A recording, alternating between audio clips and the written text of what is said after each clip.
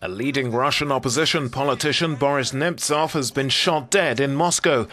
According to several Russian news agencies, the 56 year old former deputy prime minister was gunned down while walking with a woman near the Kremlin.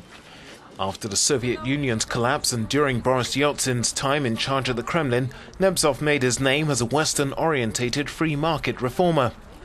Four years ago, he was sentenced to 15 days in jail after taking part in a New Year's Eve opposition rally. Регистрация оппозиционных партий, проведение новых выборов От- и немедленное освобождение политзаключенных.